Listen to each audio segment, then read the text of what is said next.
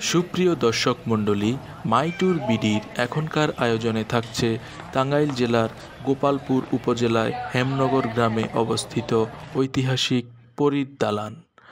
প্রায় ষাট একর জমির উপর অবস্থিত পরীর দালান হেমনগর জমিদার বাড়ি হিসেবেও সুপরিচিত। এখানে পরিদের আবাসস্থল বা পরিদের নির্মিত ভবনের দেখা পাওয়া না গেলেও দিল্লি ও কলকাতার কারিগর দ্বারা তৈরি সুন্দর কারুকার্যমণ্ডিত স্থাপনা আগত দর্শনার্থীদের মুগ্ধ করে।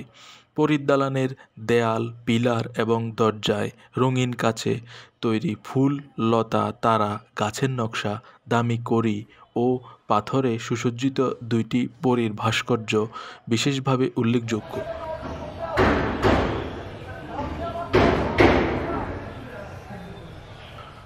রাজবাড়ির উপর নির্মিত দুটি রাজসিক পরীর ভাস্কর্যের কারণেই মূলত এই দালানের নাম হয় অ্যাঞ্জেল হাউস বা পরীর দালান।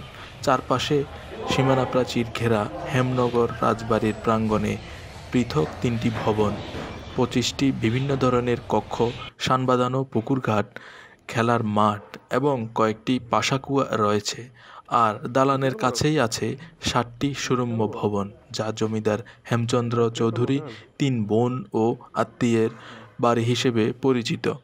এছাড়া পরিদালান থেকে তিন কিলোমিটারের মধ্যে বেশ কয়েকটি প্রাচীন স্থাপনা রয়েছে।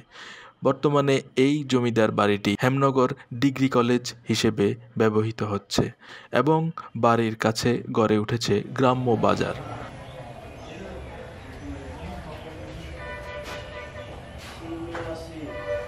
জমিদার হেমচন্দ্র চৌধুরীর পিতা কালীবাবু চৌধুরী সূর্যাস্ত আইনের আওতায় শিমুলিয়া পরগনার জমিদারি কিনে নেন।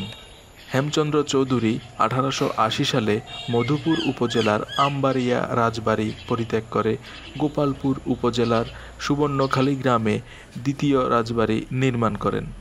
হেমচন্দ্র চৌধুরীর নামানুসারে এলাকার নাম পরিবর্তন করে হেমনগর রাখা হয়। পরবর্তীতে আঠারোশো নব্বই সালে সুবর্ণখালী গ্রাম যমুনা নদীর ভাঙনের কবলে পড়লে হেমচন্দ্র চৌধুরী সুবর্ণখালী থেকে তিন কিলোমিটার দূরে সিমলাপাড়া গ্রামে এই পরীর দালান নির্মাণ করেন। বর্তমানে এই অবকাঠামোটি হেমনগর পরীর দালান হিসেবে পরিচিত।